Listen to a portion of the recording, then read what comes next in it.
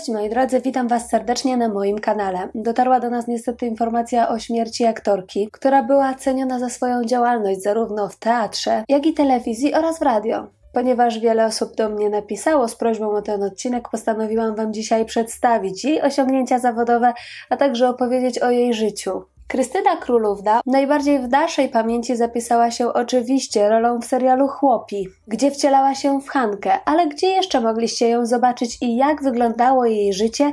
Dziś oczywiście Wam to zdradzę, więc serdecznie zapraszam Was do oglądania.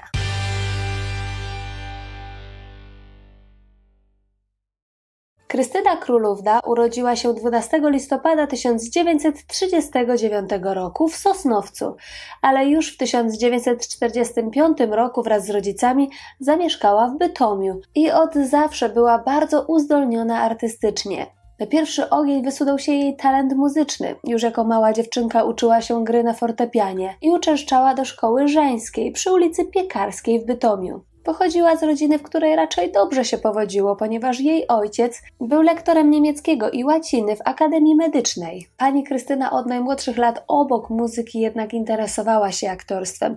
Już jako mała dziewczynka postanowiła, że chciałaby w dorosłym życiu stanąć na deskach teatralnych. Te plany postanowiła wprowadzić w życie, udając się na egzaminy do szkoły teatralnej i dostając się do Wyższej Szkoły Teatralnej w Krakowie, gdzie szlifowała swój talent. Po szkole została zatrudniona do teatru imienia Słowackiego, gdzie pracowała przez kilka lat. Przeniosła się do stolicy, gdzie pracowała m.in. w Teatrze Narodowym w Warszawie. To teatr zawsze był jej prawdziwą pasją, choć i na ekranie pojawiała się.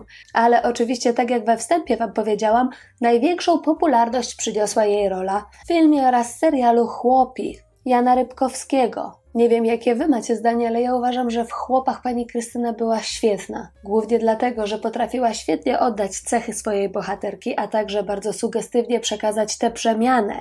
Przemianę z biednej, wiejskiej, zahukanej kobiety w pewną siebie gospodynię. Ale oczywiście, mimo że była to rola, która najbardziej zapada nam w pamięci do dziś, to jednak mogliśmy ją oglądać również w innych filmach, takich jak na przykład w 1970 roku w kryminale Zapalniczka, gdzie wcieliła się w Magdę. W 1988 roku obsadzono ją w Rzeczpospolitej Dni Pierwsze. Jednak jak widzicie, nie mam tutaj zbyt dużo wymieniania tych ról, ponieważ jednak jeżeli chodzi o jej wcielenia ekranowe, nie miała do nich szczęścia, a być może nikt nie umiał do końca odkryć jej talentu, tak jak potrafili to zrobić reżyserzy teatralni jednak. Ostatni raz pojawiła się na ekranie w telewizyjnym filmie Romana Wiączka Generał Berling.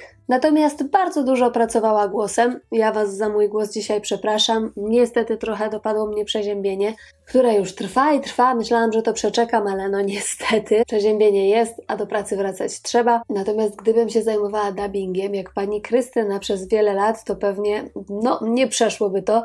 Jej rewelacyjny głos można było usłyszeć w Rogate Rancho, Toy Story 2, z którego była naprawdę bardzo znana i chyba ta najmłodsza publiczność właśnie jej głos na zawsze zapamięta, rodzinie Adamsów, Herkulesie, Pinokiu czy balladzie o Januszku. Bo faktycznie dubbingiem zajmowała się już od lat 60.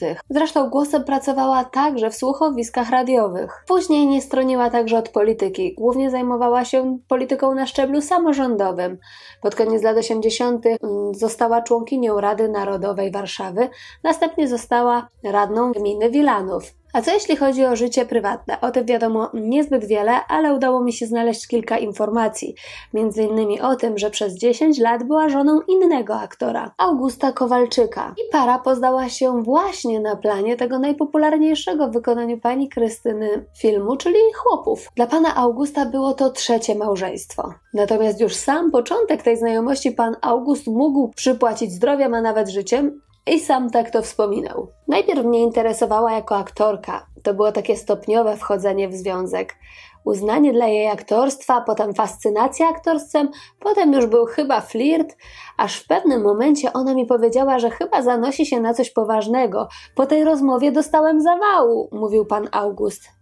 Nie miałem świadomości, że jestem chory. Coś się zaczęło dziać niedobrego. Zadzwoniłem z domu do teatru, przysłali samochód. Zawieźli do szpitala i okazało się, że to był zawał. Był rok 1974. Jednak, jak podaje WP Film, pani Krystyna po 10 latach małżeństwa zostawiła pana Augusta dla innego, młodego aktora. To było 10 lat wspaniałego małżeństwa. Jednak nagle przyszedł ktoś inny, 13 lat młodszy od niej. Zaufała mu. Zapytałem ją tylko w spokojnej rozmowie, czy to jest romans, czy to jest miłość. Powiedziała, że miłość. Odeszła, wspominał pan August, który zresztą nie ukrywał, że bardzo to przeżył. Człowiek nigdy nie wie, co go w życiu spotka i kiedy. Jak miałem 63 lata, byłem już na emeryturze, przekonany, że wszystko co ciekawe już za mną. Ale jak sam przyznał, chociaż nie była to dla niego ostatnia miłość, miał jedną zasadę, której zawsze się trzymał, więc po tej decyzji nie było już odwrotu. Trzeba było się z tym uporać. Taką mam naturę, że jeżeli nawet największa miłość się kończy, to nie ma powrotu. Można wyjść z tego powodu. Zresztą biografia pana Augusta jest bardzo ciekawa. Mężczyzna w trakcie wojny znalazł się w Auschwitz.